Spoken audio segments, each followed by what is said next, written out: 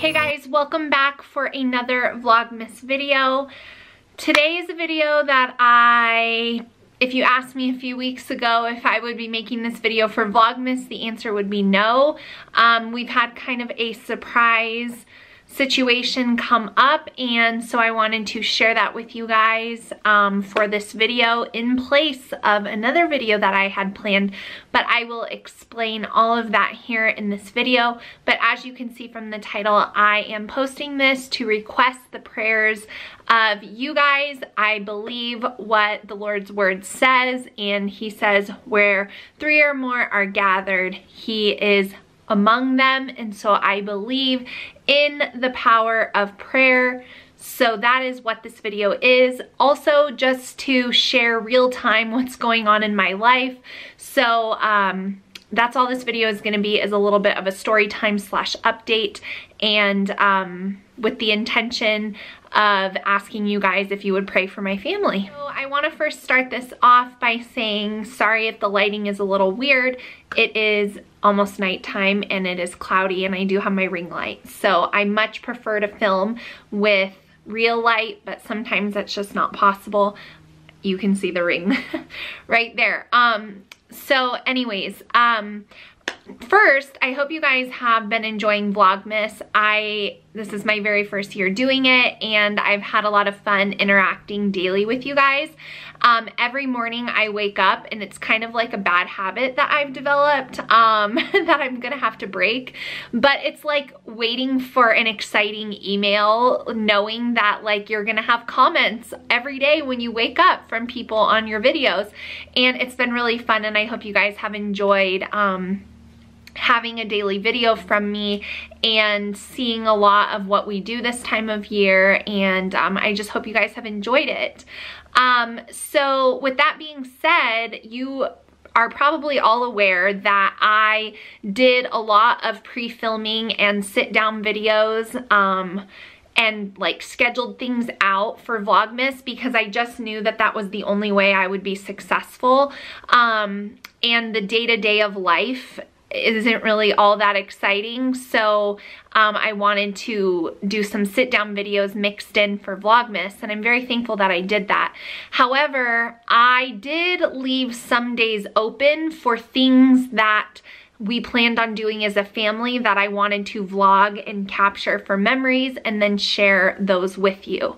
Um, so the reason why you're seeing this video instead of another one that I had planned is because over the last we found out last Friday and you guys are seeing this on Thursday. Um, so almost a week ago, um, we found out that my husband is going to be having surgery tomorrow. um, and if you guys have followed me for a long time, then you will remember over the summer, in July to be exact, uh, we were on vacation in San Clemente, California at our annual beach house that we rent. And he woke up out of nowhere um, in excruciating pain, could not walk, could not crawl, couldn't move, was like overnight just debilitated. Um, we were in, it was like two or three days into our trip. And so we were in California. We were not near any doctors or anything like that. So we thought, you know, maybe he slept wrong, maybe you know, we went through the whole list of what it could be. Um, and so what we started to do while we were in California was to see a chiropractor there um, just to try to get him some relief because he was in agonizing pain, like in tears, and the man does not cry. Um, I shared that with you guys um, on Instagram. I don't think I ever made a video about it, but if you follow me on my Instagram and you follow my family, then you know that that was something that we kind of went through. Um, it continued on in excruciating pain, um, all different kinds of problems, um, and like tightness like never before, um, swelling in his calf, and just all these very strange symptoms. So we just attributed it to the fact that he now sits at a desk and he's never sat at a desk before. And um, we thought maybe he did something lifting weights because we are both extremely active and like to push ourselves to the limit. And I just kind of thought maybe he pushed himself a little too far. Um, so that's kind of what we thought. So we um, we went to the chiropractor we were doing the stretches we were researching. Everything seemed like it was sciatica a case of very bad um, sciatic nerve um, pain like a pinched nerve um, the sciatic nerve basically. Uh, so we thought well I guess we're just gonna have to wait for this to go away.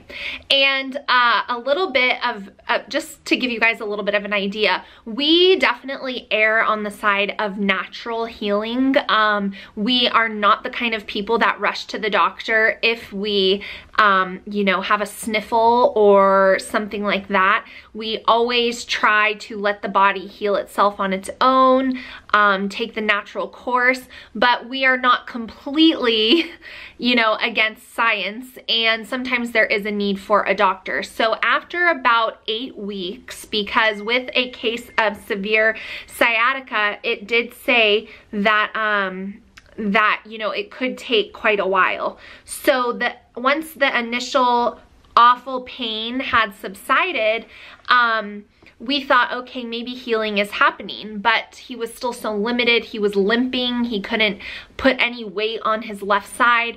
So after about eight weeks of that is when we decided, okay, we need to go to the doctor. So um, my husband went to the doctor. So this was probably in September and the beginning of September. And um, and the doctor told him, okay, we need to do an x-ray. We knew he didn't break anything. There was no like accident or anything that happened, but you know, they have to go through their steps and the steps take forever. So he gets the X he goes to the doctor, he makes the appointment for the x-ray, he gets the x-ray, he goes back to the doctor, you know, all these things are like a week apart. And um, so once he goes back, the x-ray of course shows nothing is wrong with like the bone. So they want to do an MRI to look at the soft tissue. So they send him for the MRI, it takes a week to get the appointment, then it takes a week to get the results, then it takes a week to go back. And sure enough, on the MRI, it revealed that he has a bulging disc, um, L5S1, which is basically like the last vertebrae or the last like part of your spine before your tailbone, that last bit, he has a bulge disc there. And um, the MRI revealed that it was out quite a distance, um, like pretty far out there. Um, but again, we the we went back to the doctor. The doctor said, okay, you do need to go see a neurosurgeon um, to see what they think you need to do for this. Um, so then we made the appointment with the neurosurgeon. His soonest appointment was like a month out. So now we're talking like the middle of October. Um, all the while, my husband, the pain, the initial sciatic pain had subsided, but he still hasn't had full strength. Um, he has, still has numbness. He still has like reduced quality of life because he can't do what he's used to doing. Um, so now we're in October, like I said, so we make appointment with the neurosurgeon, one of the best in our area. Um, and so we're grateful for that at least. But uh, we get all the way until the week of the appointment and then something happens and the doctor has to cancel the appointment. And the soonest appointment that they had after that was like two or three weeks later so we took that appointment. Well, then we decided we were gonna go to Michigan and it just so happened that it was the same week. So my husband called to cancel that one. And the soonest that they could get him in was last Friday, the 12th. So this started in July. We really didn't seek medical intervention until about September and here we are in December. So this is like five months later. So my husband, like I said, has not been in the pain. The pain went away after about like four or five weeks, um, but he still can't stand up and lean forward. He still can't run. He still can't balance on one leg. And these are all things like my husband is a very active man and chasing the kids and hiking and all the things. Um, so it's, it's really been affecting him. So waiting for this appointment, we figured, you know, you just need physical therapy. You didn't use your, the left side of your body for a while. You just need physical therapy. And my background is rehabbing people who have had injuries, you know, with exercise. So all along I've been helping him do different exercises and stretches and different things like that. Um, and I do think that that has helped him quite a bit. But um, so he goes to the appointment. I was not there and the neurosurgeon who has like 25 years of experience tells him that he needs surgery and he needs surgery pretty soon because the longer the nerve is compressed, which it still is, which is what is causing that weakness, the more likely it is to be permanent, the longer it's delayed.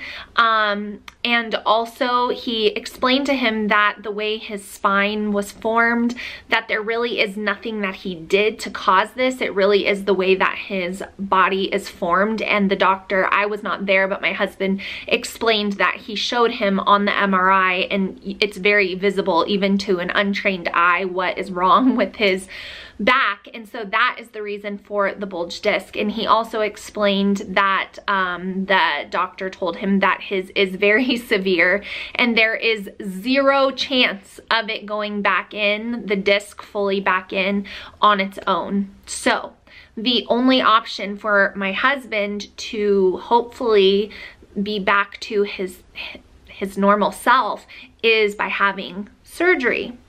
So you may be thinking surgery five days before Christmas. Yeah, mm-hmm. I know. My thoughts exactly. But the thing is, is that it's a six week uh, time frame for a full recovery. And six weeks from the day that my husband is having the surgery, which for you guys will be tomorrow, is when we leave on our cruise. That is non-refundable and paid in full. So, um, we couldn't delay it any longer and we also have already been waiting so long and he's been without the use of his body fully for a very long time and we don't want him to have any permanent nerve damage um, which could already be the case. So we are having we, he is having surgery tomorrow. And I know you guys who watch have, you know, seen him on some of my videos and, um, you know, like you see his personality. He's very funny, lighthearted guy, but having surgery on your spine is scary. Um, and yes, I know that there are people out there facing far worse than this with far more grim diagnosis and prognosis, but it still is scary to have your husband having spine surgery five days before Christmas. So the reason why I needed to do this video is because a lot of the things that I had planned for our family um, to do leading up until Christmas are now going to have to be different and they're going to have to be different because he can't come. And so um, one of the things that I was gonna do was surprise the kids with a trip to see Elf, the musical at um, a theater in Utah. Um, so it's like a two and a half hour drive. And I was going to vlog, sorry, my phone. I was going to vlog the whole day, but now my husband, it's the day after his surgery. So he obviously cannot go and we're our tickets again for that are also non-refundable. And so we're not even sure that we're going to be able to go. Um, he wants us to go because he doesn't want us to miss out on any of the fun stuff. Um, so I'm I'm gonna have to wait and see how he's doing and kind of play it by ear, but I definitely could not vlog and drive to Utah by myself and take the kids and like, it was just gonna be too much. So that was what I had planned on filming in place of this little update video. Um, but hey, this is real life and I'm very thankful that I filmed content ahead because if I hadn't, Vlogmas would be ending right here. Um, I, I'm going to have to do all the Christmas stuff with my kids by myself. I'm going to have to do the rest of like the wrapping and I'm just going to be, I'm, and then I'm going to be taking care of him and it's just going to be a lot. So, um, I wanted to let you guys know all of this um, because I would really love it if you would be praying for Jake tomorrow will be his surgery um, and I just would love it to know that you all were praying for my family. Um, we're just praying that the surgery works and that his recovery is fast and that he does not have permanent nerve damage. So those are the three biggest things that we're praying for. Um, and if you would like to throw me in the mix, just pray that God gives me the strength I need to do all the things and that um, he's still able to enjoy Christmas with us. Because if you guys watch all of my videos, you know that this is the first year that we've had him for all of the holidays. And it's a little bit sad that our first year of having dad available for for Christmas um, is going to be spent recovering from surgery it's a little bit sad. Um, so yeah, I'm, I'm a lot stressed out and I'm sad and uh, I wish that this wasn't happening, but it is. And so that's that. So um, I just wanted to let you guys know what's going on in my life. I may or may not be very active on Instagram. So I don't know how that's all gonna go. I gotta see how I'm doing um, and how he's doing and how everyone is doing. So if I go silent over there for a little while, no, I'm okay. It's just like life. Um, but thankfully, like I said, I have pre-filmed videos and so you guys will still have a video all the way up until Christmas. Um, so you won't even notice. But uh, I just wanted to get on here and share what is actually going on in my life currently.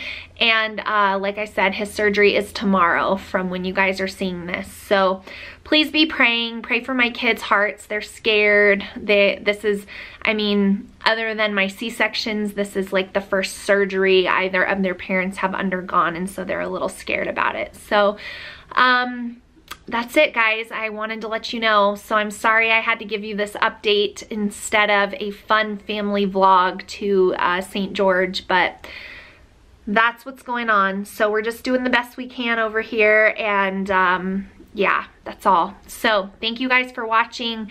Please pray that uh, everything goes well tomorrow. Thank you for your understanding and thank you guys for your care and love. Um, it says something that I felt like I wanted to get on here and ask you guys to pray. And so I'm just thankful for this community. And I hope you all are doing really well. And you'll see another video tomorrow for Vlogmas. Bye, guys.